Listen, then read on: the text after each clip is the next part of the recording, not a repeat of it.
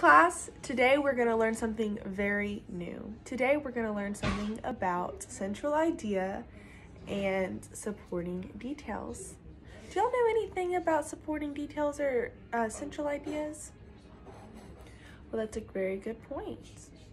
Well, today we're going to learn much more about it. Our central idea is the main purpose or idea of a text. So what is the text really about? And then the supporting details are the details that go into it.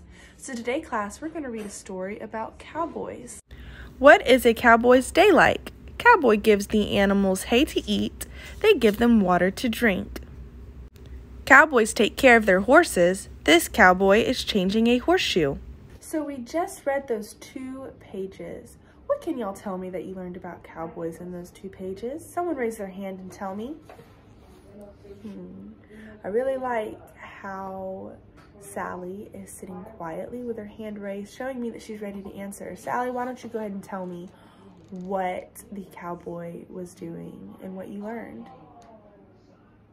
He was feeding the cows and horses. What did he feed those cows and horses?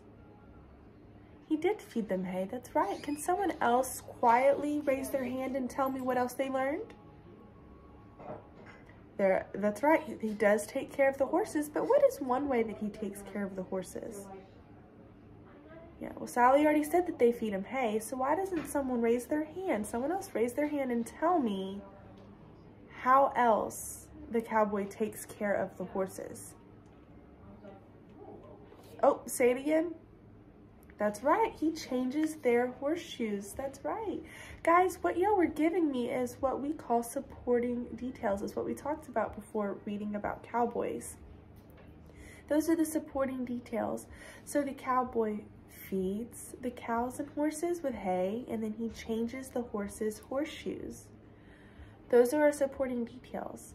Can someone take a guess at what the central idea may be? Remember, that is our main idea. The cowboy does take care of the animals. Guys, that is our main idea of this book, is that the cowboy takes care of the animals. And our supporting details is he feeds them hay and he changes their horseshoes.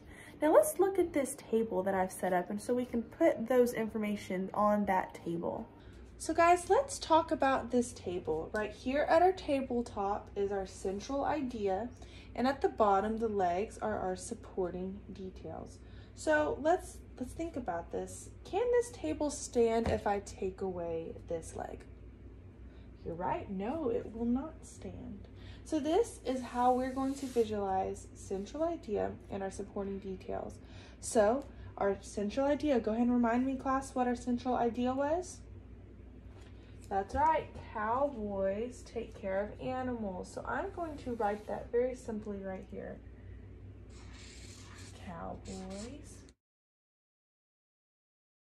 And always end a sentence with a period. Let's go ahead and remind each other. Go ahead and talk with your partner. Tell them and talk about what one of the supporting details were.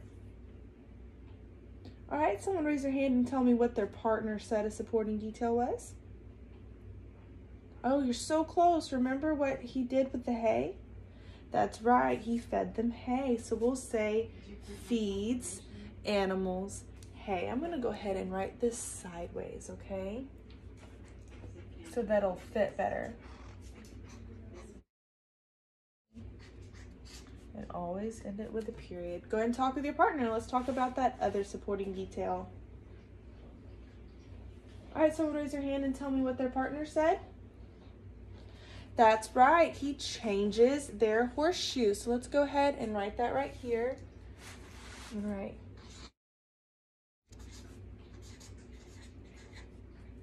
That's right, and that is how we fill out our central idea and supporting details table.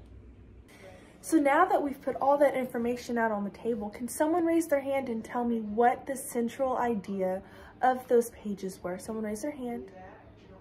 Oh, I'd really like to call on you, Tommy, but you're not sitting very quietly. You're talking to your neighbor, so show me that you're ready maybe I'll call on you for the next question, okay? All right, why don't you go ahead and tell me, what is the main idea? Oh, you're so close. Feeding the horses hay is a supporting detail. Why don't you go ahead and tell me, now that you're sitting quietly, quietly for me, go ahead and tell me what the main idea is. That's right, the main idea is that our cowboy takes care of the animals. And since you already said the supporting detail, why don't you go ahead and remind the class what one of our supporting details were? That he feeds the horses and cows hay. And what was the other supporting detail? Someone raise their hand. Go ahead, why don't you go and tell me? That's right, they changed the horseshoe. So class, all together now, what is the main idea? Yes, the cowboy takes care of the animals. And what's one supporting detail about the hay? Yes, he feeds the animals hay. And then what does he do with their shoes? He changes the horseshoes. Great job, class. Okay, class, before we go and break into groups, we are going to talk about what activity we're going to do about what we just learned about central idea and supporting details. So here I'm going to pass out this piece of paper, okay? This is going to be a table. Right now it doesn't really look like a table, but that's okay. I'm going to show you how we're going to make it into a table. So before you cut out anything, right here in the middle is where your central idea goes. Will y'all remind me as a class what our central idea is?